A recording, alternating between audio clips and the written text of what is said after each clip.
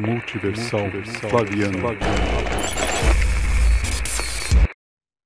Essa parábola aqui, na verdade, ela também reflete, é a mesma que Mateus 25, só que tem algumas mudanças, né? Mas é, é a mesma história de um de um rei que viaja, um rei não, um senhor nobre que viaja para uma terra distante para se tornar rei e deixa os seus servos incumbidos de tarefas, né? Tarefas é, com, em relação ao dinheiro, né? Então, eu escrevi assim, ó. Jesus, antes de entrar em Jerusalém para se tornar rei, resolve contar a história de um homem rico que viajou a um país distante para se tornar rei. Ele chama alguns de seus servos e lhe dá dinheiro para que administrem enquanto estiver fora. Já como rei, esse senhor, depois de muito tempo, volta e resolve acertar as contas com seus servos. A maioria dos servos administram muito bem, porém aquele que recebeu menos foi duramente punido, pois não fez o que o seu senhor pediu. A diferença entre as duas parábolas está apenas no final, onde Jesus, após contar a parábola, comenta e dá sua opinião sobre o assunto, como de costume. Nesse caso, o, JC diz para trazer aqueles que não querem seu reinado e matarem na sua frente. Então veja aqui, né? Então você tem o início deles é isso, ó. Então Mateus, ó, porque o reino dos céus é como um homem que viaja para um país longínquo, que chamou seus próprios servos e lhe entregou os seus bens. Né? E Lucas tá, portanto ele disse, certo homem nobre partiu para uma terra distante para receber um reino e retornar. Né? Ele chamando seus dez servos, deu-lhes minas e disse-lhe, negociai até que eu venha. Então tudo tem um cara nobre que viaja e deixa dinheiro ou minas para que eles negociem, né? Aí a diferença, por exemplo, aqui em Mateus, olha como, que, olha como ele termina aqui uma parábola, né? Veja que mensagem moral e justa, ó. Lançai o servo inútil nas trevas exteriores, haverá choro e ranger dos dentes. Que linda mensagem de amor desse, desse ser, hein? Fantástico. Né? E o, em Lucas vai estar, mas esses meus inimigos, esses meus inimigos que não quiseram que eu reinasse sobre eles, trazei-os aqui e matai-os diante de mim. Tá? Veja que não interessa se foi o JC que disse ou não, se foi o rei. A questão por que, que ele termina uma parábola, que tinha que ser um ensinamento moral, tá? e ele termina com um incentivo à violência, a um homicídio. Tá? Em Lucas vai estar tá assim, ó. Portanto, ele disse: certo um homem nobre partiu para uma terra distante para receber um reino e retornar. E ele, chamando seus dez servos, deu-lhes dez minas e disse-lhes: Negociai até que eu venha. Mas os seus cidadãos, prestem atenção nisso aqui, tá? Ó. Mas os seus cidadãos odiavam-no e enviaram uma delegação após ele, ou em alguns está embaixada, entendeu? Delegação ou embaixada é a mesma coisa. Dizendo: não queremos que esse homem reine sobre nós. E aconteceu que ele, retornando depois de ter recebido o reino, tá? Ele virou rei, ordenou que fossem chamados servos a quem ele entregara o dinheiro para que ele pudesse saber quanto cada homem ganhara negociando. Ele disse-lhe, e ele disse-lhe: Pela tua própria boca eu te julgarei, servo mau. Sabias que eu sou homem severo, que eu tomo o que não pus e colho o que eu não semeei, por que então tu não pusestes o meu dinheiro no banco? Pois na minha vinda eu poderia ter exigido o meu com a usura, e disse aos que estavam com ele: Tomai dele a mina e dai-a a quem tem dez minas. E eles disseram-lhe: Senhor, ele tem dez minas. E aí, finalizando, Jesus diz: Pois eu vos digo, eu vejo que isso aqui não é o, o rei falando. Né? Isso aqui é o JC, sempre ele, ele, quando ele termina a parábola, ele sempre começa com, com essa frase. Pois eu vos digo, o JC explicando, que todo aquele que tiver será dado, mas ao que não tiver, até o que ele tem será tomado. Mas esses meus inimigos, que não quiseram que eu reinasse sobre eles, trazei-o aqui e matai-os na minha frente. Jesus ilustra a história de um homem nobre que viajou para um país distante a fim de se tornar rei. Ele chama alguns de seus servos e lhe dá talentos para que administrem enquanto estiver fora. Cada um desses homens recebeu uma quantidade. Aquele senhor, depois de muito tempo, volta e resolve acertar contas com os servos. A maioria cumpriu seu dever, porém aquele que recebeu menos foi duramente criticado e punido, pois não fez aquele talento que recebeu render durante todo aquele tempo. JC finaliza dizendo para trazer aqueles que não queriam ser reinado e matassem em sua frente. Como é típico das parábolas de JC, o autor descreve os eventos de maneiras chocantemente absurdas e violentas. JC diz que mais pode ser dado a todos os que têm, mas é absurdo dizer que aquele que não tem nada, até o que tem será tirado. Você não pode tirar algo de quem não tem nada. Como Jesus poderia concordar com algo tão cruel e desonesto? Tá? É isso que vocês têm que pensar, entendeu? Por isso que eu falo, a, a, questão não é vocês acreditarem que isso tem a ver com os flavianos. Vocês, vocês têm que se perguntar: se esse personagem foi criado, por que o autor está colocando uma parábola de violência na boca dele? Tá? Principalmente quando ele, esses autores estão criando uma religião. Tá? Então, é isso que vocês têm que pensar. Tá? É, os cristãos não querem aceitar que essa frase, mas esses meus inimigos que não quiseram que eu reinasse sobre eles, trazei-o aqui matai diante de mim, tenha sido uma referência ao próprio JC. Mas se analisarmos com cuidado o contexto da passagem e formos buscar uma resposta racional, usando elementos históricos, essa frase não se refere ao rei e nem a Jesus. Na verdade, essa passagem ilustra uma cena descrita no livro Guerra dos Judeus, e é, na verdade, um evento real onde os judeus sofreram nas mãos dos soldados romanos, dos flavianos, no final da guerra.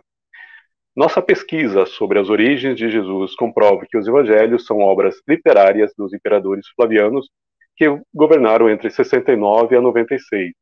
Tanto as profecias quanto as parábolas são baseadas em eventos reais e têm a ver com a guerra entre judeus e romanos. No caso da parábola das dez libras e Lucas 19, o imperador romano Vespasiano é o protagonista, no caso, Vespasiano e Tito, tá? Eu coloquei Vespasiano, mas é Tito quem retorna. É Tito quem vai retornar, tá? Uh, então aqui vamos analisar aqui junto com vocês, tá, pessoal? Para vocês entenderem.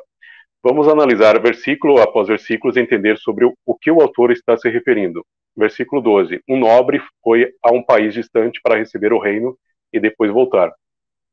Vespasiano, um nobre romano pertencente à ordem equestre, foi proclamado imperador por suas legiões quando estava no Oriente e foi para o Egito receber o título de imperador e depois foi para Roma comentar o triunfo, comemorar o triunfo. Só que uh, eu não coloquei aqui, tá? Mas Tito ele retorna. Tito ele também reinou junto com o pai, tá? Então os dois eram imperadores. E aí Tito retorna, tá? Vespasiano fica, ele vai para Roma e Tito retorna. Então, no caso, como o JC sempre é uma metáfora de Tito, então é Tito que retorna, tá? No versículo 13, chamando seus dez servos, ele lhe deu dez libras e disse-lhes: Negociei com estes até eu voltar. O Império Romano consistia em várias províncias, né? Itália, Caia, Ásia, Síria, Palestina, Egito, África, Espanha, Gália, Britânia, Germânia. Quando Vespasiano chegou ao poder, a economia de Roma estava falida. Ele então criou novos impostos, sendo um deles o fiscos judaicos, cobrando apenas dos judeus, apenas dos judeus. Isso foi logo depois da guerra. Os dez servos seriam as províncias governadas pelos romanos e o servo mau seria uma referência aos judeus, tá? Então veja que, a, como eu disse, da figueira, a figueira representava os judeus. Tá? Então quando Jesus ele amaldiçoa a figueira, a figueira representa os judeus. Tá? No Antigo Testamento tem isso. É, no versículo 14, mas seus cidadãos odiavam e enviaram uma embaixada, olha só, atrás dele, dizendo: Não queremos que este reine sobre nós. Joséfo relata que os judeus enviaram embaixadas para ajudá-los a levantar distúrbios sobre o governo de Vespasiano e Tito, Guerra dos Judeus 6, tá? Eu vou trazer essa passagem aqui na íntegra para vocês, tá?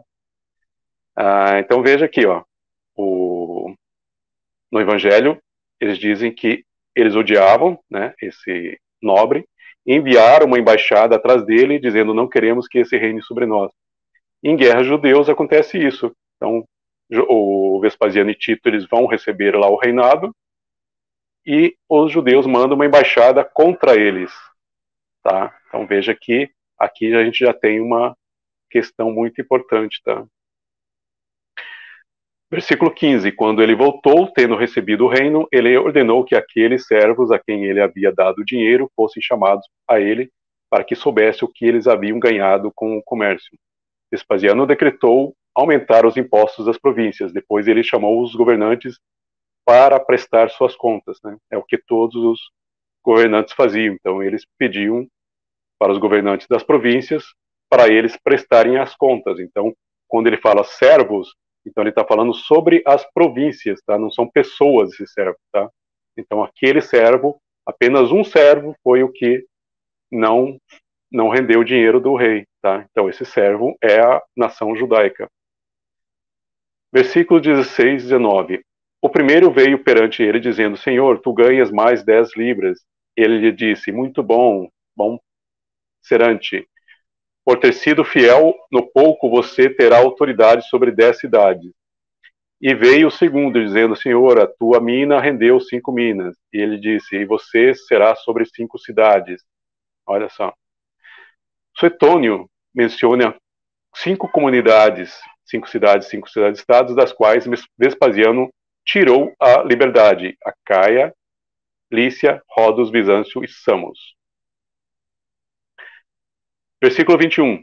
Porque eu tinha medo de você, porque você é um homem severo. Você pega o que você não depositou e colhe o que você não semeou.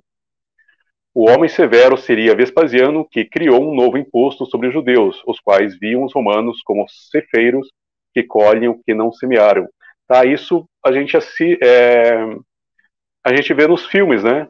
O, geralmente é, os romanos chegam né, nas províncias exigindo o não o dinheiro, mas trigo, animais, né, que era para sacrifício, para alimentação. Então eles não plantavam, né? Os romanos eles viviam dos outros, eram os, o, os povos, né? O Egito, Grécia, todos esses enviavam uh, esses alimentos para os romanos. Então aqui quando ele fala aqui que ele é um homem que não né, ele não plantou, ele só colhe, ele está se referindo a, aos romanos, né? E era isso que eles faziam. Então eles não plantavam, eles só colhiam. Então eles iam para as províncias para pedir aquilo que era deles. Eles achavam que era de direito deles. Né? E os, os, os judeus não gostavam, né? Correto? Deixa ele voltar aí. os judeus não gostavam, correto? Os judeus não gostavam, correto? É lógico que não. Mas aí, deixa eu perguntar, tem, será que tem falas de Jesus mandando pagar imposto para Roma, tem? Pois é. Quando ele diz ali, paguem os impostos, né? Aquela do, das duas dracmas lá, né? O filho não, dá não paga. É de César, dá, dá a César que é de César, ou seja, ali é uma sátira dos flavianos sobre isso, entendeu?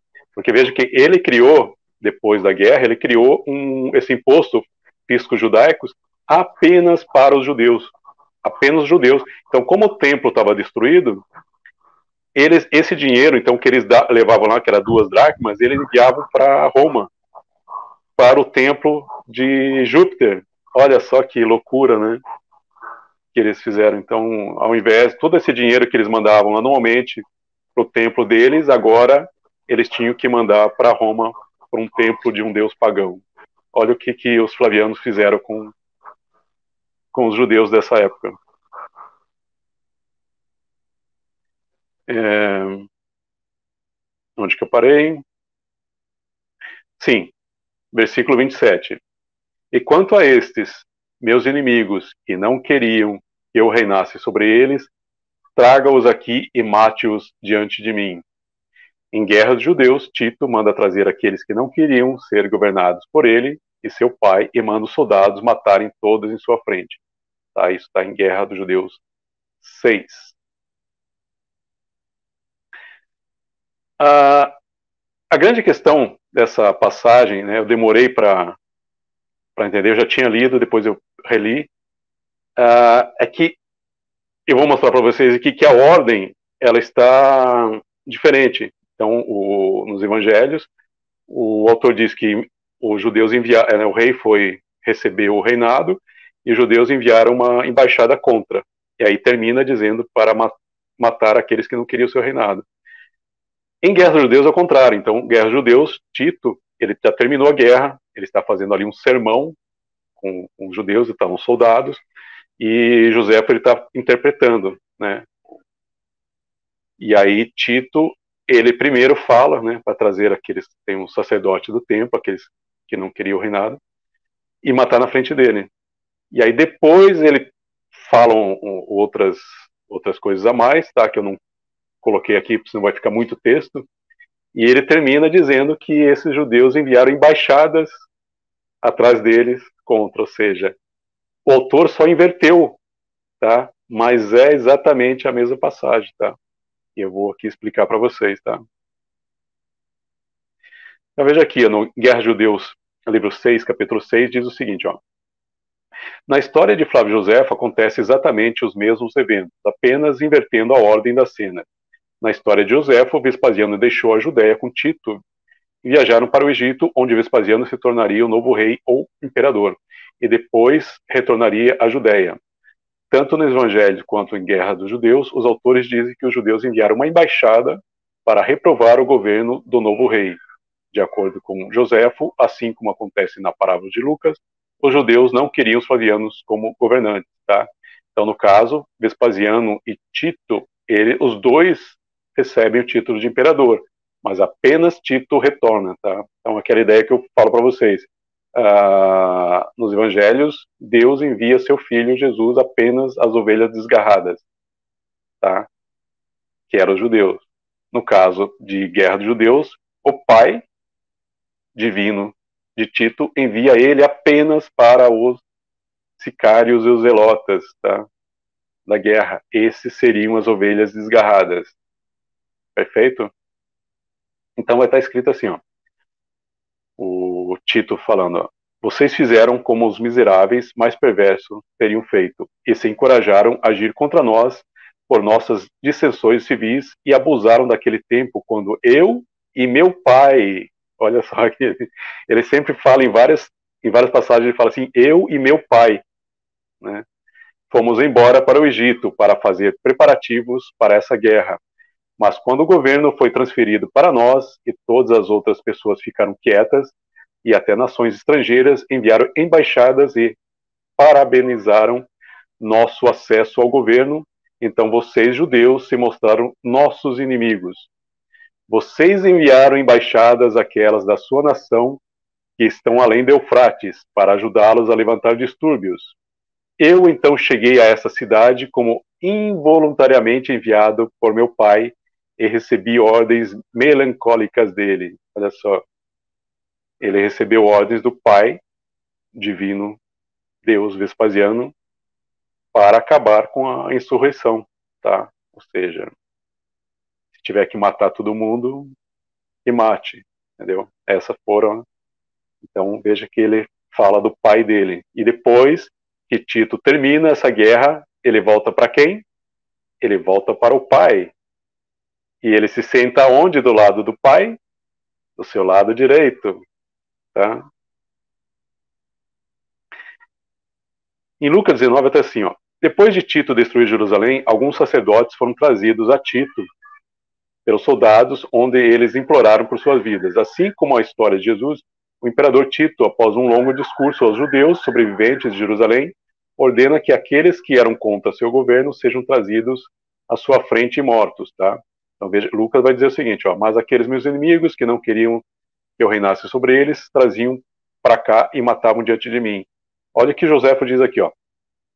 No quinto dia depois, os sacerdotes que sofriam com a fome desceram, e quando eles foram trazidos a Tito pelos guardas, eles imploraram por suas vidas. Mas ele respondeu, olha aqui, ó, respondeu que o tempo de perdão havia acabado. Lembra que, que, que eu falei que o, uh, nos evangelhos fala sempre sobre a, a questão da, do arrependimento, né, eles estão sempre falando se arrependo, se arrependo, né? E aí acabou o tempo do perdão, do arrependimento. Encerrou, né? A guerra foi final, então eles não se arrependeram. Tito foi lá e destruiu, tá? Ah, aqui eu trouxe a sequência do texto de Joséfo, tá? Só retirei algumas partes aqui, porque senão fica muito longo. Então aqui ele começa assim, ó. No quinto dia depois, os sacerdotes que sofriam com a fome desceram e quando eles foram trazidos a Tito para os guardas, eles imploraram por suas vidas. Mas ele respondeu que o tempo de perdão havia acabado. E quando a, quando a eles, e que estava a muito sagrada, a essa casa sagrada, em cuja conta somente eles podiam justamente esperar ser preservados, foi destruída. E que era agradável ao seu ofício que os sacerdotes morram com a própria casa a que pertenciam. Assim ordenou que fossem mortos. Então veja que uh, essa passagem aqui, ela vai para o final de Lucas, tá? Então é como se Tito fosse Jesus e dizendo para trazer aqueles que não queriam o reinado, trazer na sua frente e matar, tá? Então veja que o autor de Lucas ele só inverteu, tá? Mas quando o governo foi transferido para nós e todas as outras pessoas ficaram quietas e até nações estrangeiras enviaram embaixadas e parabenizaram o nosso acesso ao governo, então vocês, judeus, se mostraram nossos inimigos. Vocês enviaram embaixadas aquelas de sua nação, que estava além de Eufrates, para ajudá-los a levantar distúrbios. Então, isso aqui está no início de Lucas, onde o autor diz que um rei, um nobre, viajou para uma terra distante, ou seja, Vespasiano indo para o Egito, Vespasiano e Tito indo para o Egito, e depois Tito voltando. Então, esse rei tá, seria Tito, tá? Porque Vespasiano mandou ele, tá? Os dois, como eu falei, os dois governaram junto. Os dois eram imperadores ao mesmo tempo, tá? Então, no início fala do rei, do nobre que foi para uma terra distante para é, se tornar rei e foi enviado embaixadas contra ele. E aqui você tem Joséfo dizendo que foi enviado embaixadas para levantar distúrbios, ou seja, é a mesma história, só o autor inverteu, tá? Novas muralhas foram construídas por vocês ao redor de sua cidade, surgiram as sedições e um tirano lutou contra outro, e uma guerra civil entre vocês.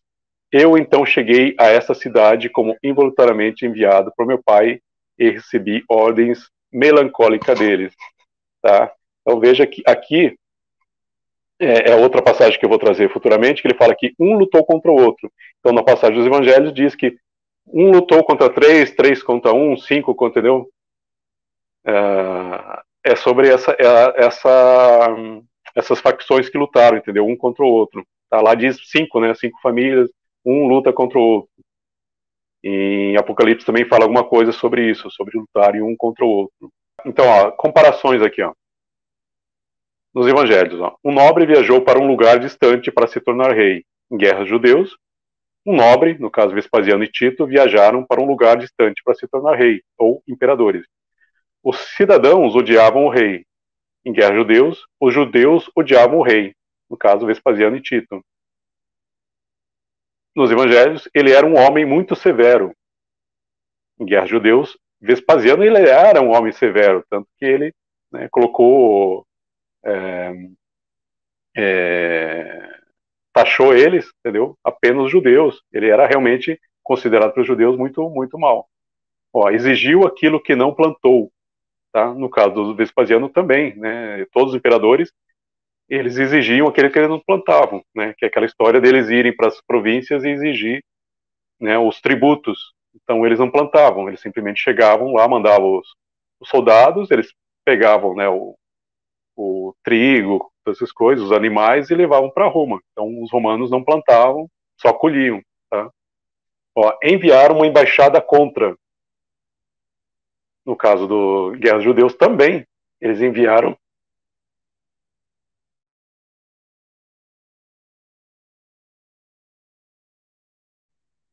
Então, em Guerra dos Judeus, eles também enviaram uma embaixada. Ó. Então, você tem aqui um nobre que viajou para um lugar distante nos dois você tem. Então aqui eles também enviaram, cada um enviou uma, uma embaixada. em, nos evangelhos, em Lucas, né, Jesus falou, mandou trazer quem não aceitava seu governo e matar na sua frente. É a mesma coisa que Tito fez, entendeu? Ele mandou soldados trazerem e matar. Tá? Ele não diz, ó, matar na minha frente, mas se ele está trazendo, mandando soldados trazer esses, esses judeus, ele vai matar na frente de Tito. Ou seja, então aqui mostra que essas duas literaturas elas estão conectadas Tá? Elas estão conectadas. Resumindo, tanto as profecias quanto as parábolas de Jesus são, na verdade, textos retirados do livro Guerra dos Judeus e se referem aos flavianos. Portanto, podemos concluir que as profecias as parábolas são anacrônicas. Tá? Ou seja, vocês precisam saber quando a história está sendo escrita e não quando o personagem é alocado. Tá? Isso é o anacronismo. As profecias, as parábolas, são anacrônicas, porque elas se referem à época que estão sendo escritos os, os livros. Tá? Então, veja que, então, como Jesus poderia usar uma parábola falando dos flavianos no ano 30? Entenderam a grande sacada? Os autores dos evangelhos sinóticos tinham como objetivos e intenções credibilizar o governo flaviano como sendo entregue pelo próprio Deus retirar a culpa pela destruição do templo e apresentar aos judeus os Messias ou Cristos das profecias messiânicas, que, com a ajuda de Flávio Josefo, assumindo o posto de profeta, forjou uma literatura profética onde um filho de Deus, Jesus, teria tido visões dos flavianos como cumprindo a vontade de seu Pai divino. Era exatamente essa composição messiânica que os judeus aguardavam em seu tempo. Um profeta e dois messias, que James Tabor aborda em seu livro de Jesus Genesty. Tá? Então, eu mostrei para vocês né, que as, as parábolas, é, essa parábola de Lucas se refere a Tito, e isso está em Guerra dos Judeus. As outras parábolas também se referem aos flavianos, tá? A gente vai mostrar isso em outras lives. Então, vamos ver aqui as conexões flaviana com os evangelhos. Então, veja, primeiro, os três evangelhos foram compostos durante o governo dos Flavianos, entre 70 e 81, que é quando Tito morre. Tá? Então, essa época é feito os três sinóticos, é isso que eu Scania a gente entende. Tá? Dois, as profecias do JC eram sobre os Flavianos, isso a gente já mostrou em outras lives, e a gente vai mostrar ainda mais coisas, ou seja, todas as profecias se cumprem no ano 70 com Joséfa está em guerra dos judeus. Todas as profecias se cumprem, tá? Não que se cumprem, na verdade, é, vaticínio ex evento, ou seja, as profecias estão sendo escritas depois dos eventos, tá? Mas é sobre os flavianos, porque quem vai para a guerra são os flavianos. Então, veja que os evangelhos foram compostos durante o governo deles, as profecias são sobre eles. Três, os milagres eram sobre os flavianos. O milagre, por exemplo, que, que, que Jesus ele é, fala que curou um cego com guspe, um, um cara com ouvido também, com surdo, um cara que tinha a mão atrofiada. Todos esses milagres Vespasiano também fez. Como que duas histórias competindo ao mesmo tempo ali, Jesus fazendo o mesmo milagre que o Vespasiano, e eles não têm nenhuma preocupação com isso, né? Eles deveriam pegar esses livros e jogar fora. Como que o Vespasiano está fazendo os milagres e você tem um judeu fazendo o mesmo. Ou seja, você percebe que existe um interesse dos flavianos nessa literatura. Senão eles teriam já eliminado essa literatura, tá? Aí, quarto, as parábolas, tá? Que nós mostramos hoje. As parábolas são sobre os flavianos. Quinto, os anacronismos eram sobre os flavianos. Ou seja, os anacronismos, a gente tem as próprias profecias, a gente tem ah, os impostos, tá, que a gente vai mostrar também para vocês. Ah, e hoje né, mostrei para vocês as parábolas. Então, ou seja, a parábola do que Jesus está falando lá no ano 30 está falando sobre os flavianos. Como que isso é possível? Isso é possível desde que seja anacrônico, ou seja, os autores estão escrevendo depois dos eventos. Para escrever esse, essa parábola que eu mostrei hoje, o autor de Lucas, ele tinha o livro de Joséfo na mão. Ele estava ali com guerra dos judeus de um lado e estava escrevendo a história. Daí ele falou assim: pô, peraí, eu vou pegar essa, essa passagem aqui de Tito aqui mandando matar os caras na frente dele, dizendo que, que, que os judeus mandaram embaixada contra o rei, e vou criar uma historinha aqui. Aí pegaram história. Vocês percebem a conexão? Ó, em Guerra dos Judeus, ó, e para aqueles que a quem passavam faziam todos os tipos de aclamações. Isso aqui para quem diz que os flavianos eles não eram chamados de Salvador, eles foram o Salvador, tá? Então o pessoal diz não, porque eles mataram todo mundo, destruíram, não. Eles destruíram a, a, apenas aqueles que não se arrependeram, tá? Então veja aqui que José fala aqui, ó, e para aqueles a quem ele passava, isso que é Vespasiano, faziam todos os tipos de aclamações devido à alegria que tinham de vê-lo, a simpatia de seu semblante e dominando e denominaram-o seu benfeitor e salvador e a única pessoa que era digna, é, digna de ser governante da cidade de Roma, tá? Então isso aqui são, esse aqui ele está ah, lá na, na passagem que ele está na Judéia, lá numa cidade lá e eles estão eles estão aplaudindo tanto em Roma como na, na, na Judéia, eles chamavam ele de Salvador. O que, que José fala aqui, ó. O que resta, portanto, é isso, que você recorra à assistência divina. Mas isso já está do lado dos romanos, pois é impossível que um império tão vasto seja estabelecido sem a providência de Deus. Ou seja, para Joséfo, a destruição de Jerusalém do templo foi uma providência divina. Já quem fez essa providência? Jesus. Jesus era o filho de Deus e ele previu que isso aconteceria. Então, não foi uma, um mero caso, não foi os romanos que que simplesmente chegaram lá e, e derrubaram tudo. Não, era uma providência divina. Então, Jesus vem para colocar isso. É por isso que eles criam esse personagem, tá? E, e, Marcos é escrito antes de Guerra dos Judeus. E só mais uma passagem aqui, ó. Quando, portanto, Tito marchou sobre aquele deserto que ficava entre Egito e a Síria, enquanto ele estava ajudando seu pai em Alexandria ao estabelecer aquele governo que havia, olha só, que havia sido conferido a eles por Deus vocês percebem o que, que José está dizendo aqui? O governo deles foi dado por Deus para governar sobre os judeus, sobre os, todos os povos, tá? E, e, e é isso que o, os evangelhos fazem. Quando ele diz a palavra evangelho, tá? A gente vai fazer uma live explicando o que, que é evangelho. Evangelho é isso, eram as boas novas de uma guerra, de uma vitória militar. Então, quando quando Marcos, Mateus e Lucas usam a palavra evangelho, não está se referindo a um livro, quando Paulo usa evangelho, a palavra evangelho, é o livro, eram os livros que já estavam circulando, tá? É isso que nós vamos explicar para vocês, tá? Mas agora, ó, mais outra passagem aqui, ó. Mas agora o que mais os levava a empreender essa guerra era um oráculo ambíguo, que também era encontrado em seus escritos sagrados, como a partir daquele momento alguém de seu país deveria tornar-se governador da terra habitável. Os judeus levaram essa pre previsão a pertencer a eles próprios em particular, e muitos dos sábios foram assim enganados em sua determinação. Agora, esse oráculo certamente denotou o governo de Vespasiano, quem foi nomeado imperador da Judéia. Aí eu pergunto, quem é esse oráculo? Quem poderia ser esse oráculo ambíguo? Entendeu? Nenhum estudioso explicou isso até hoje.